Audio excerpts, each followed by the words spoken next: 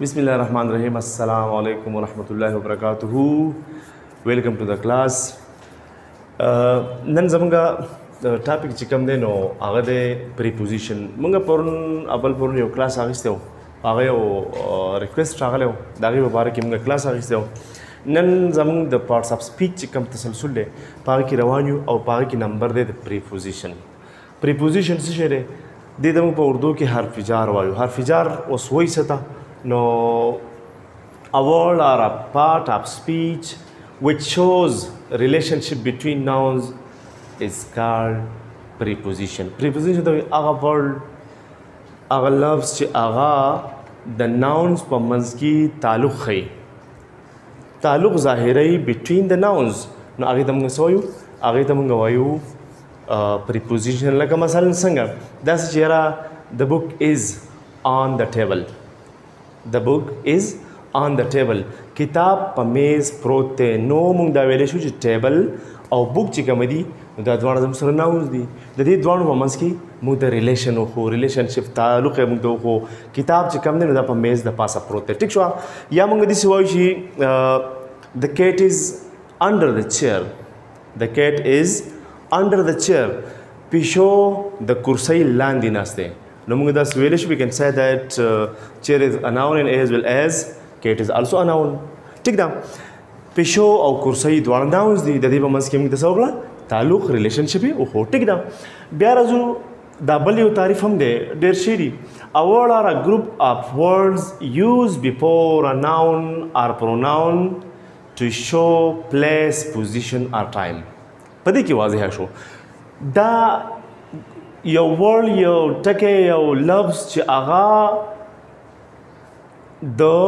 ناون یا د پروناون نه مخکې استعمال شي او موږ د سوخی موږ د پلیس پوزیشن او ټایم وخی چې دا چرته لري د پسه پوزیشن کې او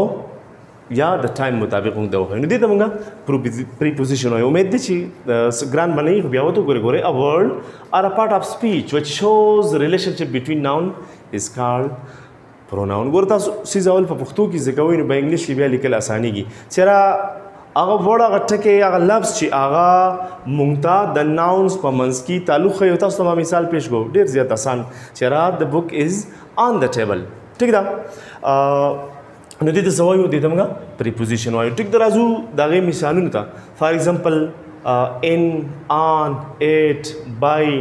ټو فرام ود فار آف آف ډاون انډر ټل سنس نیر ایټسټرا دا زموږ سره چې نو دا څه شری دا پریپوزیشن دی یا حرف جار دی ټیک ده بیا د دې یو یو ځان لزان خپل خپل استعمال لې خو لکه موږ دا خبره بار بار کوو چې را په دې کې لږه مسله ان شاء الله امید ده چې تاسو هم سره لږ تعاون وکړئ څنګه تعاون را سره وکړئ دې تعاون را سره وکړئ چې زموږ سبسکرایبر کله پوره شي کوم لیمټ چې دی د یوټیوب نو بیا به موږ راځو لایو لکه د لایو اجازه اوس موږ ته نشته موږ نه شو راتلی نو چې کله موږ لایو راځو نو په دې کې به بیا تر اول نور او اخره پورې ان شاء الله د هر یو سیس به زموږ سره بیا تفصیل په تفصیل موږ تاسو ته بیا وایو ټیک ده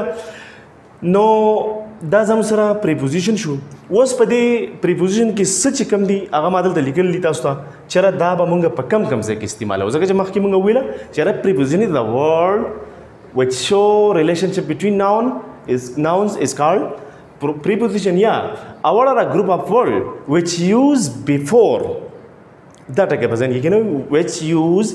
before د څه شي نه د ناون نه یا د فروناون نه بیفور مونږ دا استعمالو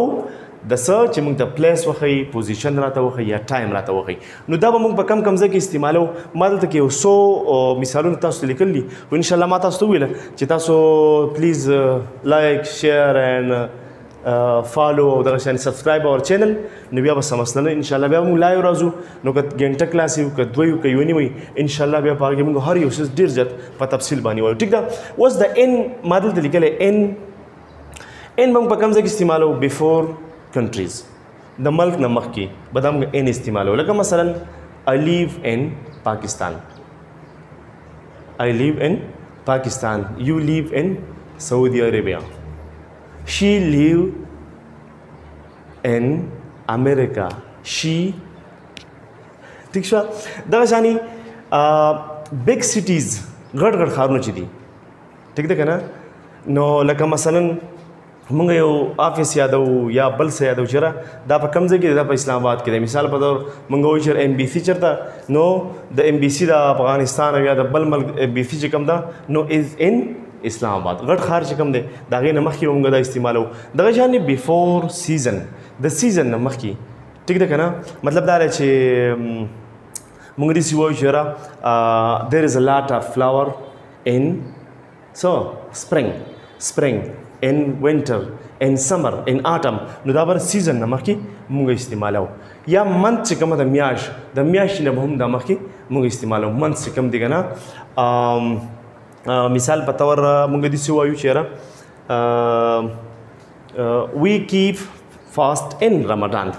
موږ څه کوو موږ په رمضان کې څه کوو روزي نیسو نو د منځ نه مخکې موږ استعمالو ټیک ده دنیا مثال نه دي دومره دي هم تاسو چې کلم د لایو آزاد شو بیا بس تاسو ته وایي بل چې کم دی آن بوس موږ څنګه استعمالو آن آن چې کم دی دا موږ د سرفیس نه مخکې استعمالو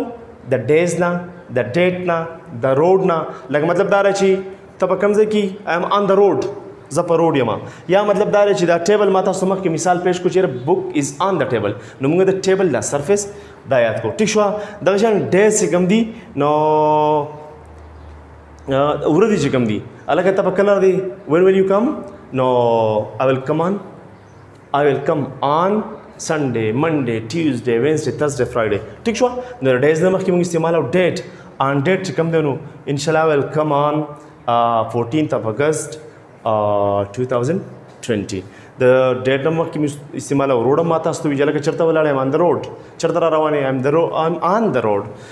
دغه شان ایټ چې کوم دی ایټ ایټ موږ به کوم ځای کې استعمالو ایټ چې کوم دی نو دا د ټایم نه مخکې د ورک پلیس نه مخکې دا هم د روډ نه مخکې استعمالول شو د رن وی نه مخکې موږ استعمالول شو ټیک ده که نه او ته به څه ټایم راځي یا مطلب دا دی چې تاسو هلته څه ټایم راځي نو ایټ 8 o'clock at 9 o'clock at 10 o'clock د ټایم نه مخکې دا موږ استعمالو د ورک پلیس نه موږ استعمالو آی ایم ایټ سکول زه په سکول کې ما نو مطلب دا ورک پلیس ته کنه دلته کار کوم ټیک دی کنه یو آر ایټ انډستری فار ایگزامپل ټیک ده ها دغه شان بل 2 2 چې کم دی نو دا موږ د ډایرکشن خي ټورز پلیس یا د ټایم د لپاره هم موږ استعمالول شو ډایرکشن چې کم دی نو څنګه خي مطلب دا ته چرته روان یم ګوینګ ټو پېښور ٹھیک ده یا هی از ګوینګ ټو لاهور ٹھیک ده کنه هی وینټ ټو سعودي عربیا سعودي عرب ته تللی دغه شانی فرام چې کم دی فرام دا هم موږ د ډایرکشن آر پلیس لپاره استعمالو د ډایرکشن یا د پلیس لپاره مطلب دا راځي زرا رواني ملکه د کم ځګینا آی ام کمینګ فرام پېښور زه د پېښور نه را روان یم ټیک ده که نه آی ایم کمینګ ټورډز یو فرام رانی زه راڼۍ نه ستا طرف ته در روان یم او پلیس چې کوم دی نو پلیس دغه هم شو پېښور هم یو پلیس دی تیمرګر هم پلیس دی دا د دې لپاره موږ استعمالو د ډایرکشن لپاره هم استعمالو ټیک ده که نه ښه دغه شانې وید چې کوم دی وید وید نو دا موږ د پریزنس لپاره استعمالو یا هیوینګ یا هیوینګ آر کیرینګ مطلب دا د پریزنس لپاره څنګه استعمالو مطلب دا چې آی ایم ود یو یا مطلب دا چې لکه څوک را روان دي څوک د سر دي یا مطلب دا چې پلان از ود می زما سره سره د موږ د روان یو لکه څوک د داغه موجودګي شو کړ کنه دی وید داغه موجودګي شو کړ یا دا شان هیوینګ یا کیرینګ مطلب دا چې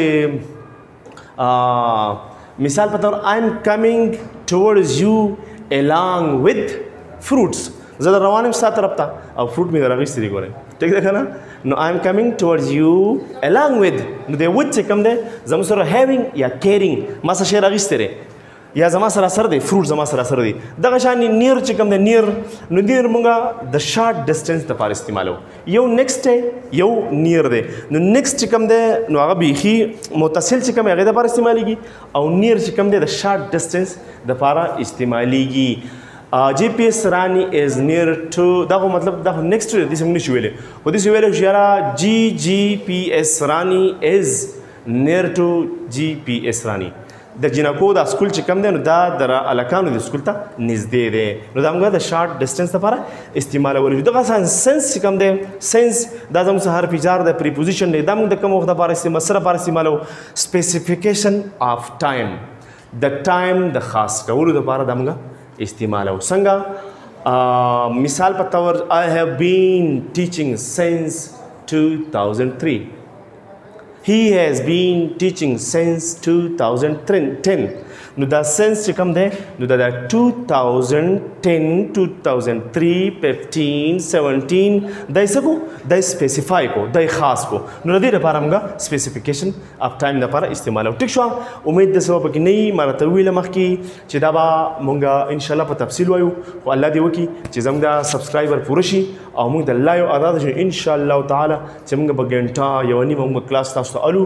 ډیر زیات په تفصیل او ډیر زیات په اسانه طریقه باندې امید دی چې پوه شو وي د ریویژن ضرورت پنه کې بیا هم سو نو موږ حاضر یو بای